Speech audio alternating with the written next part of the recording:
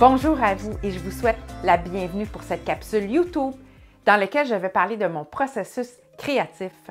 Je m'appelle Marie-Josée Bergeron et je suis artiste visuelle et spécialiste en peinture acrylique et en technique mix. Qu'est-ce que le processus créatif? Le processus créatif est un processus psychologique et cognitif qui aboutit à une production d'idées. C'est une succession d'étapes de l'intuition, incubation, illumination, vérification, solution, ainsi qu'une alternance entre différents modes de pensée.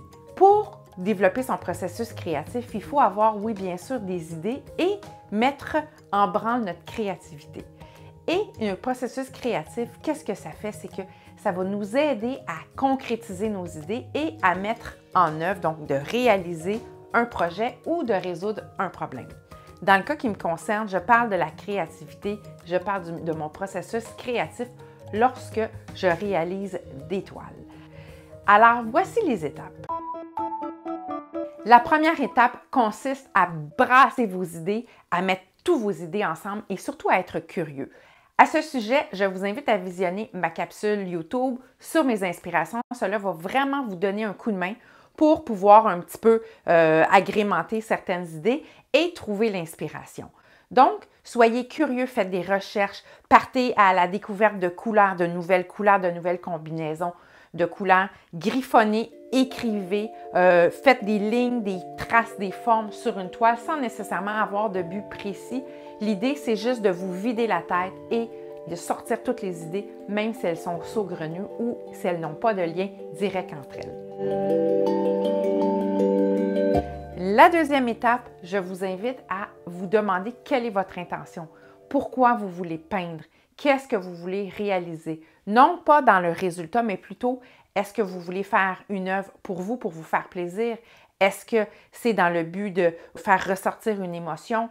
Est-ce que vous voulez peindre pour quelqu'un? Ça, c'est un autre, une autre façon de travailler. Moi, je travaille très, très par intuition, c'est-à-dire que je n'ai pas de but précis ni pour offrir ni pour exposer, mais plutôt dans un, vraiment dans un état d'introspection et de me laisser aller, de me laisser guider par les formes, par les couleurs. Alors, demandez-vous quelle est votre propre intention, quelle est votre émotion derrière euh, votre, euh, le projet que vous voulez faire.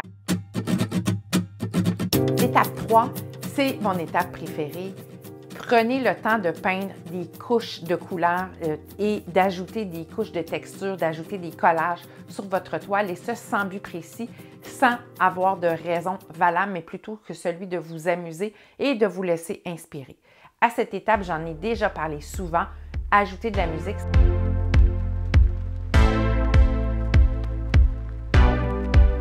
Va vous créer en fait une ambiance, une atmosphère dans laquelle vous allez peut-être vous égarer et avoir moins conscience de ce que vous faites et travailler plus dans l'intuition. À l'étape 4, ce que je fais énormément, je vais prendre du recul et je vais pivoter mon œuvre. Je vais essayer de la voir dans, dans tous les sens, dans le but justement de me permettre de peut-être découvrir des éléments, découvrir des formes. Parfois, je vais même voir des visages, je vais voir des paysages. Donc, je prends beaucoup de recul et j'observe. Donc, observez votre toile. Cette étape, à mon avis, elle est primordiale, elle est importante car elle va, c'est là que vous allez déterminer votre sujet et que vous allez faire en sorte de développer soit une histoire ou soit vraiment un contenu dans votre travail. À cette étape, lorsque vous pivotez votre œuvre, vous avez une nouvelle perception, une nouvelle façon de voir votre travail et je suis persuadée que vous allez découvrir des petits bijoux que normalement vous n'auriez pas vus. Alors prenez le temps vraiment de prendre du recul et recul veut aussi dire de laisser votre toile de côté, d'aller promener votre chien ou d'aller faire une activité extérieure qui ne, demande pas trop de travailler votre intuition, mais plutôt de vous laisser aller et d'avoir un petit peu de calme dans votre environnement. À l'étape 5, je vous invite à revoir votre intention. Est-ce que l'intention maintenant est celle du début? Est-ce que votre intention ou votre émotion a évolué? Comment vous vous sentez par rapport à votre travail? Et à partir de cette intention, ne vous jugez pas. C'est ce que je fais. J'essaie toujours de ne pas juger, mais d'avoir un regard très, très objectif sur mon travail, sur mon œuvre, sur mes couleurs, pour ne pas euh, justement être trop sévère avec moi-même. Alors, je vous invite fortement à faire la même chose. Enfin, à l'étape 6, travailler davantage les détails. Là, maintenant, vous pouvez aller vraiment dans votre sujet et aller chercher les contrastes, aller chercher la lumière, aller chercher les formes, vraiment aller chercher des contenus pour pouvoir vous permettre de réaliser votre toile et de mettre en relief ou de mettre en évidence ce que vous voulez montrer. Soyez objectif envers votre travail parce qu'au bout de la ligne, si vous ne le faites pas pour vous, mais pour quelqu'un d'autre, soyez euh, averti que cette personne n'aura peut-être pas la même opinion ou le même regard face à votre travail.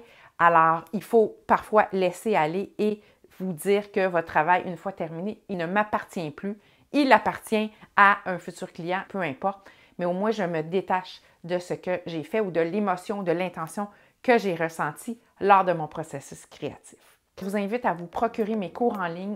Je parle beaucoup du processus créatif, beaucoup d'intuition et de créativité pour aller un peu plus loin dans le sujet de cette capsule. Je vous remercie et je vous invite à visionner d'autres capsules et à vous abonner à ma chaîne YouTube. À très très très bientôt.